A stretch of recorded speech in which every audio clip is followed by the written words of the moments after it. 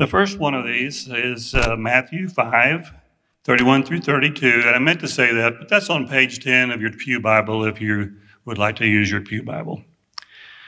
Okay, so reading from God's Word. It was also said, Whoever divorces his wife, let him give her a certificate of divorce. But I say to you that everyone who divorces his wife, except on the ground of sexual immorality, makes her commit adultery. And whoever marries a divorced woman commits adultery. The second scripture is 1 Corinthians 7 12 through 16. To the rest I say, I, not the Lord, that if any brother has a wife who is an unbeliever, and she consents to live with him, he should not divorce her.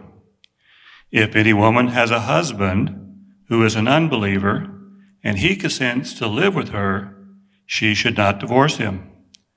For the unbelieving husband is made holy because of his wife, and the unbelieving wife is made holy because of her husband.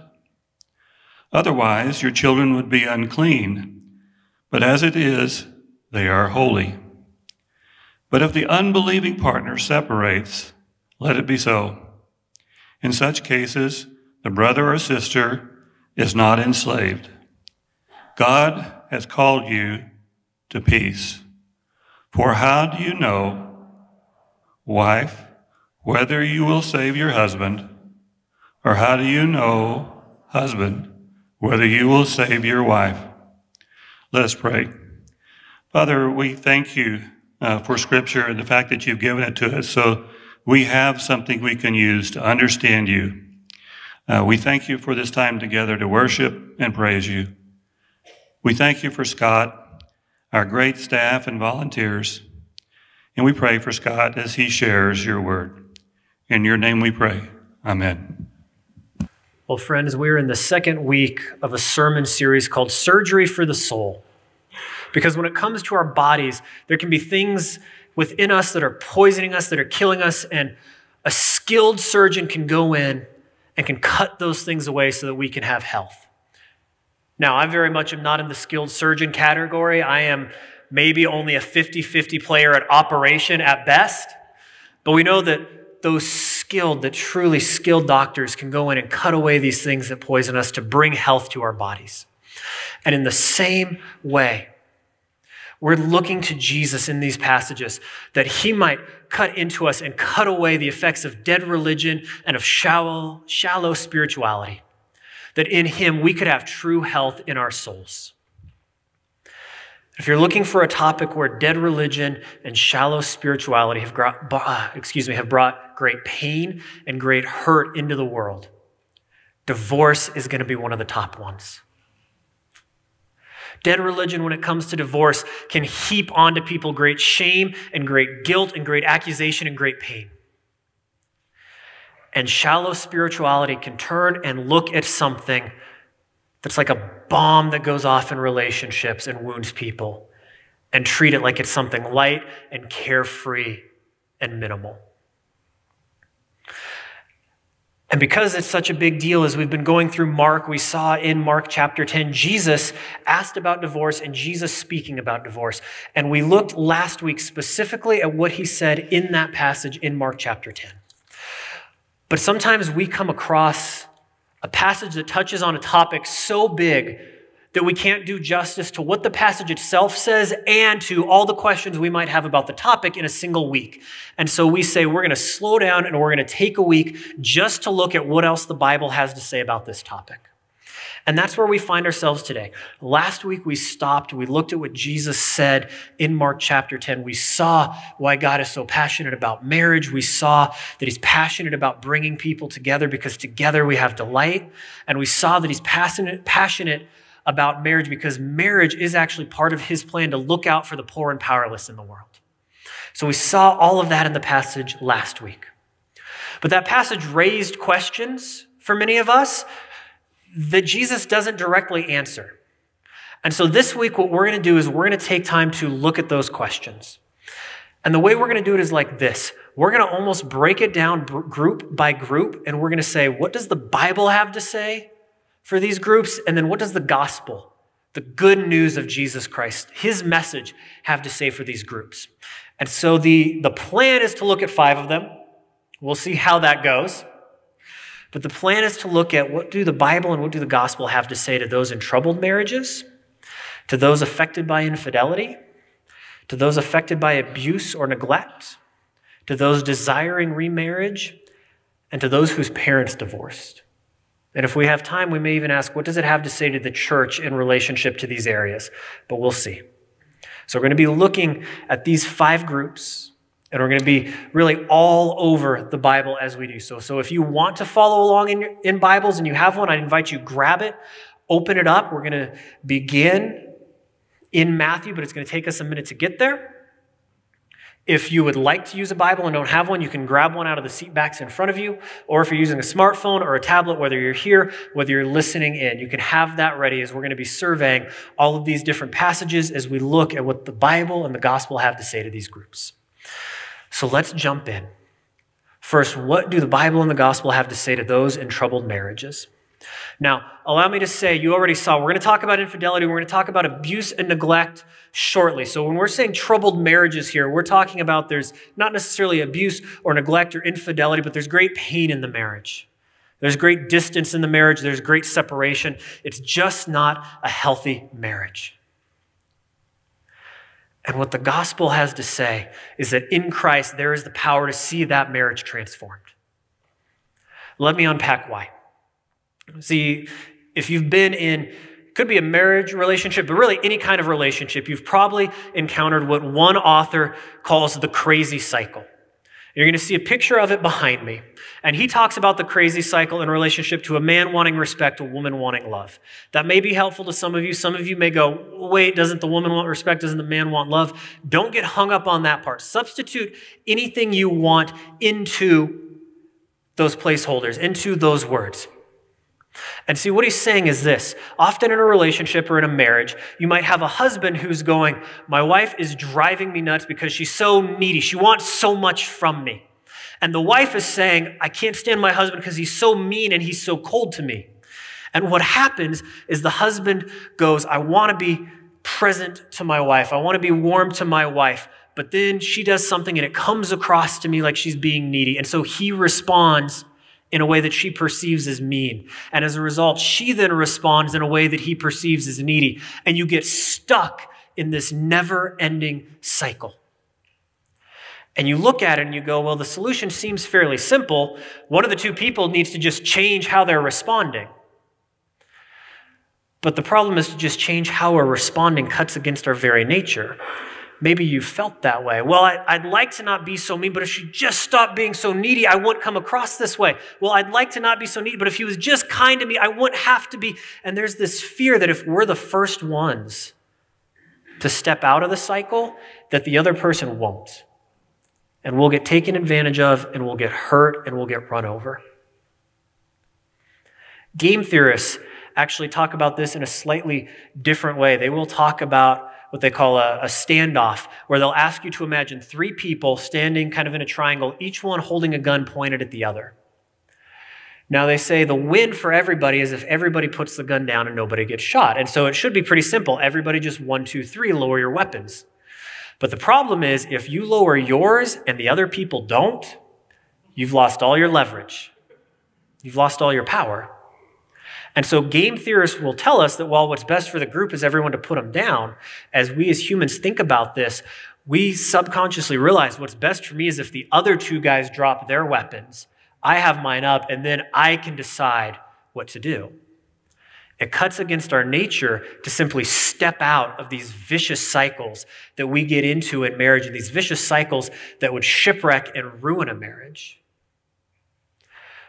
And so, how does the gospel say to that? Your marriage can be transformed and made healthy? Here's why. Because the things we're looking for in these vicious cycles, they're the things that Jesus says he's going to provide. They're things that Jesus says, you can find these in me. And then because you found it in me, you don't have to worry about whether or not you're going to get it from your spouse because you've already got it from me. When you go to the grocery store, what's the easiest way to make sure you don't buy a bunch of food you don't need? Go with a full belly. At least that's what I've been told. I've never tried it myself. That's the idea here. If you're looking at your spouse and you're going, I'm so desperate for joy, and they could be such a great source of joy, but they just aren't giving it to me. Or I so want to feel peace and security, and yet they don't say those words. They don't take those actions that give me peace and security. If you're finding it robustly through God, you don't have to go, I'm upset at you because you're not providing it for me. You can go, I can now seek to meet your needs because I've been so thoroughly provided for by Christ. And that's what Christ promises. In the New Testament in Second Corinthians, it says, He, though rich, became poor, so that you, though poor, by his poverty might become rich. Do you hear what it's saying there? It's saying that what Christ is doing is that he, though filled with joy, became a man of sorrow so that you through him could have joy. He, though utterly secure at the right hand of God the Father, became one who was arrested and threatened and so anxious that blood came out in his sweat so that you could have utter peace through faith in him. One of the leaders of the Protestant Reformation put it this way. He said, when you pray to God, you can pray, quote, you have taken upon yourself what is mine and have given me what is yours. You have taken upon yourself what you were not and have given me what I was not. So, what it's saying is in Christ, we have everything we need to step off of that vicious cycle.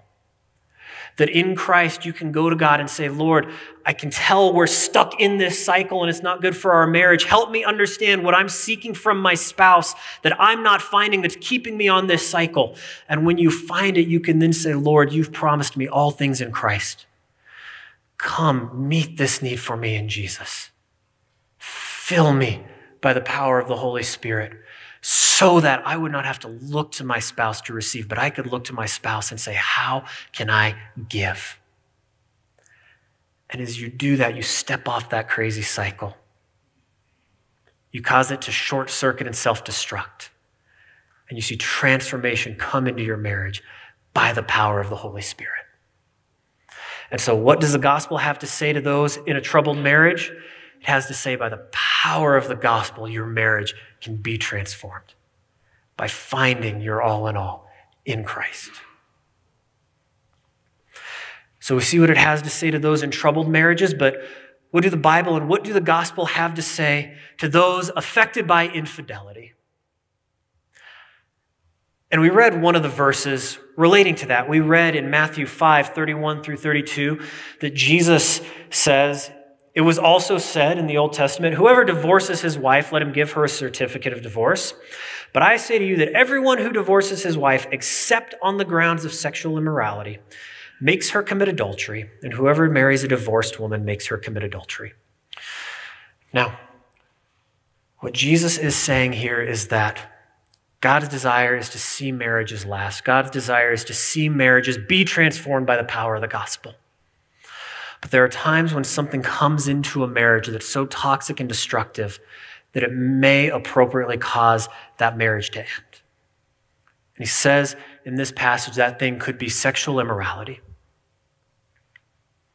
Now, you may run into some who would actually reading this, they'd say, you know, the word here translated commits adultery. It's not the normal word for adultery, it's actually the Greek word porneia. And so that this isn't saying that infidelity in marriage could be a grounds for divorce, but only infidelity before marriage. That once somebody is married, you're just married. But that's not an interpretation that we can hold consistently with the Bible, because if that's true, then God Himself has sinned. See, when God describes the people of Israel, He describes them as a bride in the Old Testament. He says it's like He has taken them to be His wife. And so, with that in mind, when you read from the prophet Jeremiah in the Old Testament, Jeremiah 3 8, you read these shocking words that God says, For all the adulteries of that faithless one, Israel, I sent her away with a decree of divorce. God says because of the infidelity of his people, he executed a divorce with the kingdom of Israel.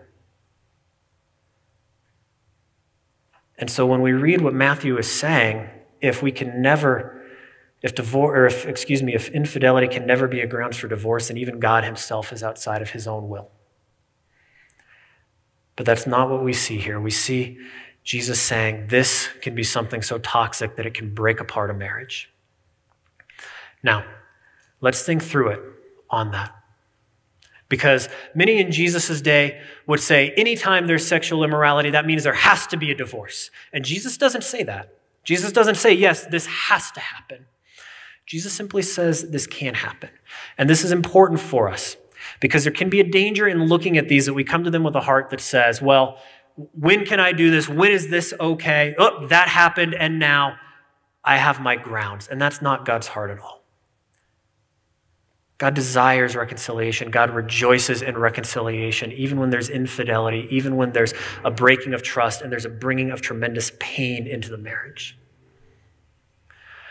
But we also recognize that there are times when we interact with people where we desire to show grace and we desire to show mercy and be patient, yet we realize that we get to a point where we go, I'm enabling this person. By continuing to show grace and continuing to show mercy, what I'm actually doing is enabling this person in something terribly destructive. And so I now need to stop. I need to let them feel the consequences of what they're doing, not because I'm angry at them, not because I want to hurt them, but because I want them to feel what they're doing so they repent and they turn.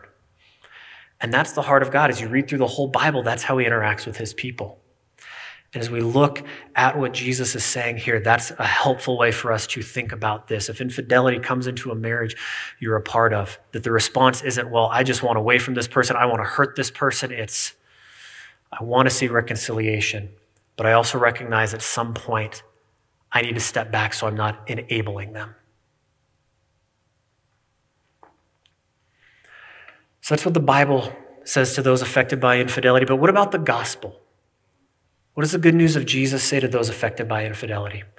Hold that thought because it's such an important thing for us to answer, and it's something we're going to come to, ans- to answer after we deal with the third group that we said we wanted to talk about. What about those affected by abuse or neglect? And this is the one. I was going to say this is the one that's hard. None of these are particularly easy. This is the one that's especially hard. And this is one where very godly, faithful followers of Christ who are very diligent in how they read the Bible actually come to different places. And so, with that in mind, let's, let's kind of do a survey through the Bible of what Scripture says, and that may help us to think this through, help us to understand what God would say. See, in the book of Exodus, there's a law given about divorce. Now, in some ways, it's going to clarify things, and in some ways, it's going to muddle things even more, but we'll wade through that. You see, in Exodus 21, God is putting legislation around the practice of indentured servitude. As we read it together, you're going to see that it uses the language of slaves in Old Testament time. Indentured servitude is actually a better translation of what that practice was like. And it's talking specifically here what happens if somebody has a woman who's working as an indentured servant to him, and he chooses to marry that woman. And then what happens if he decides, oh, hey, there's another woman I'd like to marry, and he marries her? And now he has multiple wives. And what we're going to read in Exodus 21 is legislation God's putting around that. So before we read it, let's ask the question Does this mean God is supporting polygamy? Does this mean God is supporting individuals having multiple spouses? No, it does not mean that. If you read the Bible, every time, every single time without exception, there is a story of polygamy, it always ends badly. Always. And we're meant to be able to read that as grown-ups and recognize when every time this is portrayed, it ends badly. It's God showing us this is not good. This is not what I desire. But we go, well, then why is God putting legislation around this practice? Because God recognizes this is something human beings were doing. And he's trying to put legislation in place. They're going to protect people who fall under this practice, whether or not he says, don't do this. And so God is speaking Exodus 21 to protect those who would be exploited by this practice of polygamy. And this is what he says It says, If he, a man who is married an indentured servant, if he takes another wife to himself, he shall not diminish her food, her clothing, or her marital rights. If he does not do these three things for her, she shall go out for nothing without payment of money. Let's pick this apart. It's very possible that a man takes this servant to himself as a wife, but then he finds someone's better and he says, I'm going to marry her. And now this woman, I don't really have to feed her as much. I don't really have to provide for her. I'm going to sleep just with this woman. I'm, I'm not going to have any interactions with that woman over there. I'm not going to give her sons, which in this time and place for a woman having sons was so crucial and such a huge part of their identity and their life. And so God is saying, no, when you take somebody as your bride, he's saying this to the men, when you take somebody as your bride, you are committing that you are going to provide for them food, clothing, and what scholars will call in here conjugal rights. And that those are part and parcel of the marriage. And if, as a husband, you fail to provide those things, it says in verse 11, she shall go out for nothing. Now, here's what that means it means she's going to be released from the marriage and she's going to be able to go out. She's going to be able to separate from the husband and potentially be free to remarry as well. And then as history progresses and the people of God and the people of Israel move forward in history, this is something where as they sought, how do we live out what the Bible says? They would say, well, we recognize that a marriage requires both partners to fulfill these three obligations food, clothing, conjugal rights. One scholar summed it up this way it requires them to provide physical support and physical affection. And if a spouse refuses to do this, then these could be grounds for that marriage being terminated.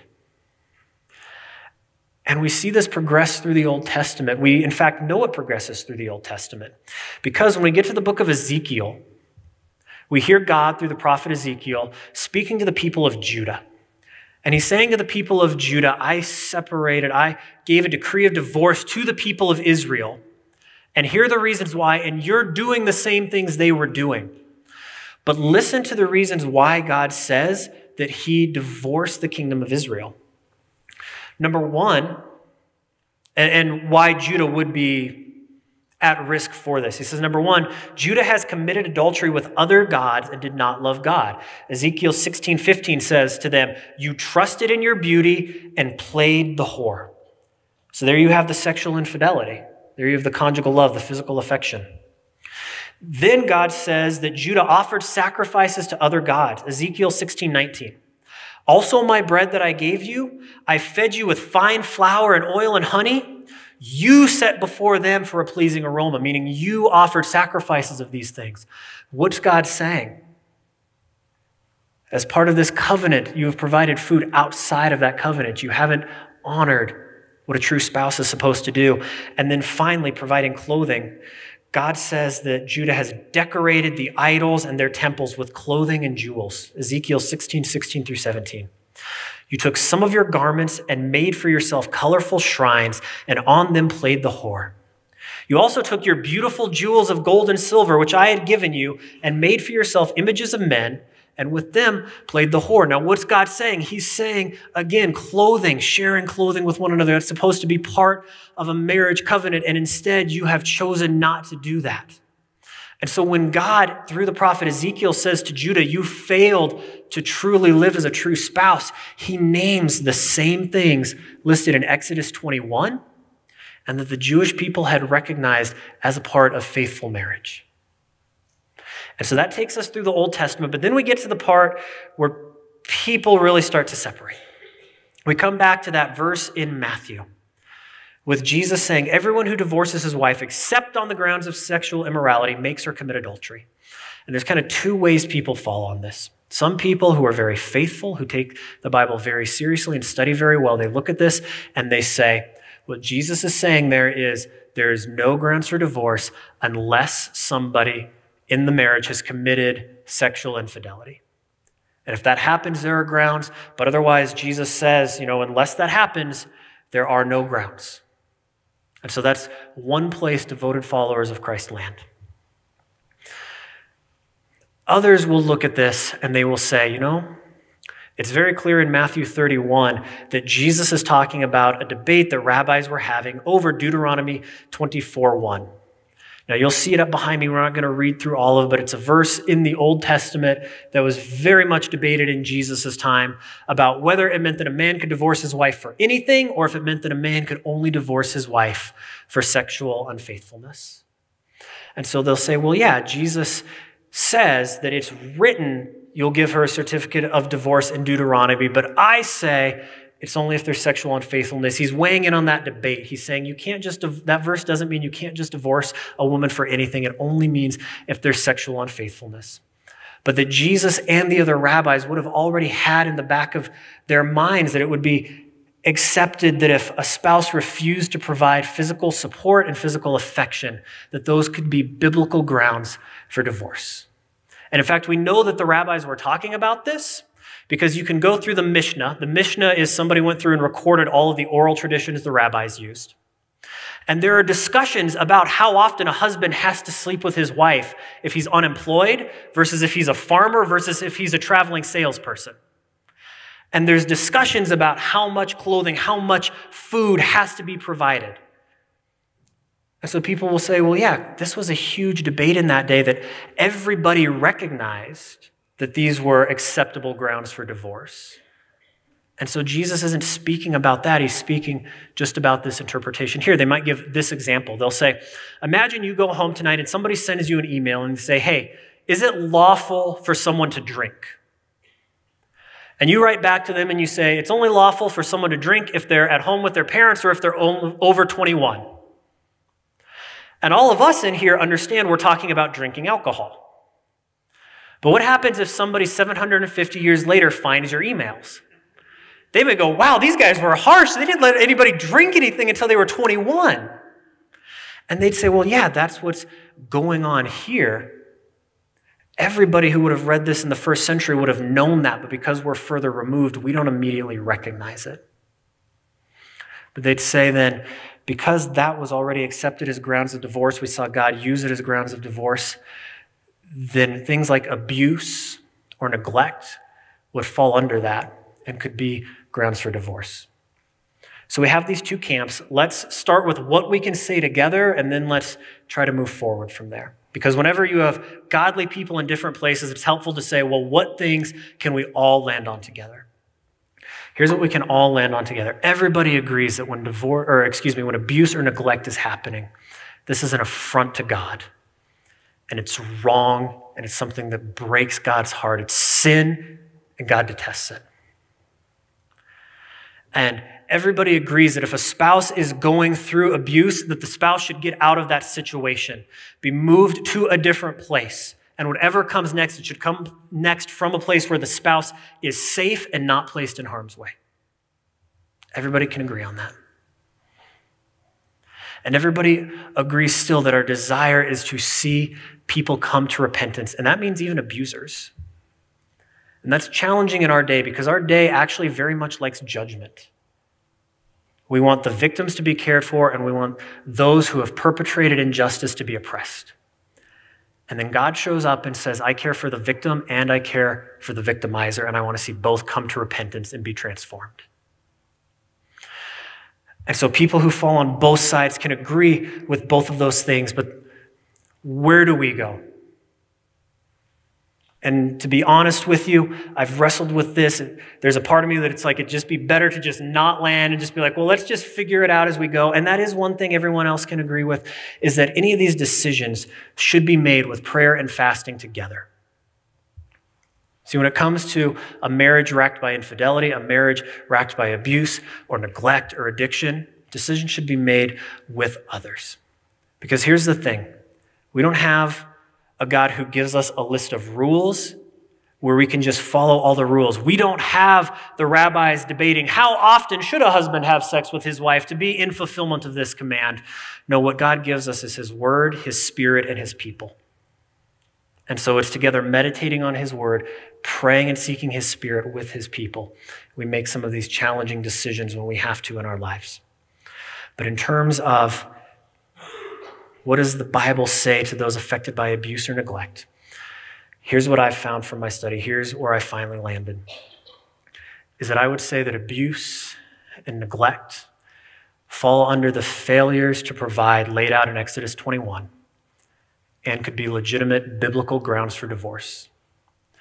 And here's why I landed there. I did not land there easy. Here's what finally happened. I read 1 Corinthians 7:15. See, this is what 1 Corinthians 7:15 says. It says, "If the unbelieving partner separates, and that word separates, it's the same one Jesus uses in Mark chapter 10 to speak of divorce. So we're not talking about two different things here, it's the same word. The unbelieving partner separates, let it be so. In such cases, the brother or sister is not enslaved, God has called you to peace. And this was very challenging because if Jesus says the only biblical grounds for divorce are sexual infidelity, how can the Apostle Paul, writing under the influence of the Holy Spirit, then turn around and say, but also if someone initiates divorce with you, that's fine, just, just go with it? I mean, we would expect him to say, unless there's been infidelity, pursue this person, hunt this person down, restore the marriage, but he doesn't say that. Why wouldn't he say that? But if, as we've seen, it was already accepted that failure to provide physical support and physical affection could be grounds, then we could see how he could say that if a spouse abandons, that could be grounds for divorce because that abandonment would be that failure to provide. And so I saw that, but then what I saw that surprised me is these same criteria laid out in Exodus are things that Paul actually mentions as well in 1 Corinthians. You see, in 1 Corinthians chapter 7, verses 3 through 4, he says this. He says, The husband should give to his wife her conjugal rights, and likewise the wife to her husband. For the wife does not have authority over her own body, but the husband does. Likewise, the husband does not have authority over his own body, but the wife does. Exodus says that spouses owe each other physical affection, and Paul is saying, you know what? In marriage, you owe each other physical affection. And then we get 1 Corinthians chapter 7 verses 25 through 29. And he says this. He says, "Now concerning the betrothed, I have no command from the Lord, but I give my judgment as one who by the Lord's mercy is trustworthy. This doesn't mean it's a lesser command. It means Paul's going, I don't have Jesus saying something explicit on this. But as one appointed to preach the gospel, applying the scriptures, this is what I would say. And he says in 26, I think in view of the present distress.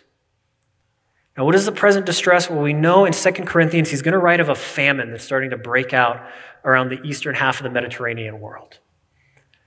And if any of you have grown up in agricultural communities, you know this as I do. In an agricultural economy, when the farmers suffer, everyone suffers. And so there's an economic downturn happening. He says, in view of this present distress, it is good for a person to remain as he is. Are you bound to a wife? Are you married? Don't seek to be free. Are you free from a wife? Don't seek a wife. Now, why would he say that? Because we've already seen that when spouses come together, they're supposed to provide for each other economically. And if there's an economic downturn on, it could be that he's looking at this going, you know what, it's going to be really hard for you to fulfill your duty to provide for a wife, to provide for a husband. And so, in light of the present crisis, it may be best to hold off until you're able to do that.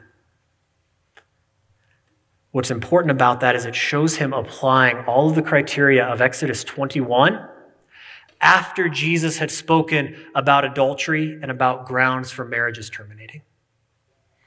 And so, as I read this and prayed on it and saw this, I went, Lord, it's not as clear as I would like, but it does seem that the direction of your Bible is that when there are those in relationships of abuse and in relationships of neglect, that there are biblical grounds for those marriages terminating. Again,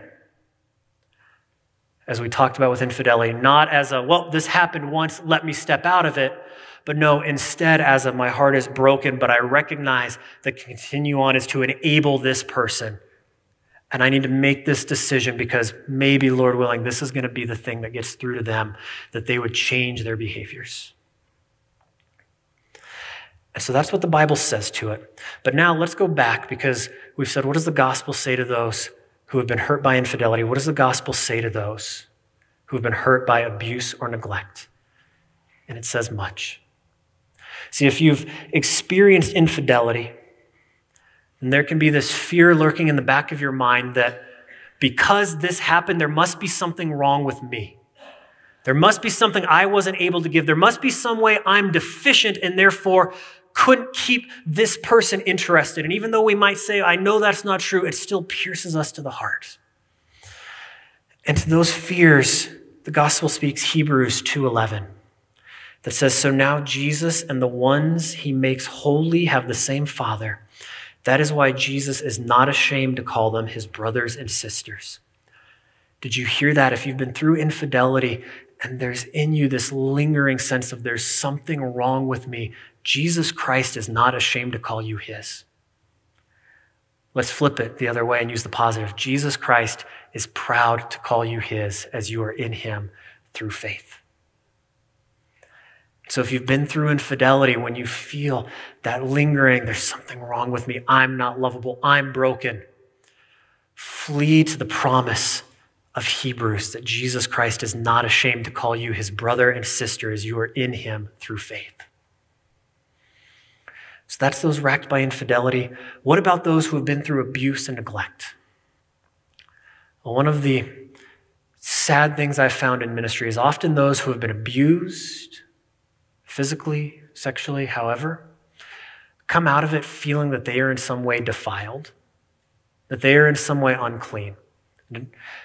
And you can say it wasn't your fault. You can say this, this was the ownership of this other person, yet there's still this sense that I'm unclean. There's something wrong with me.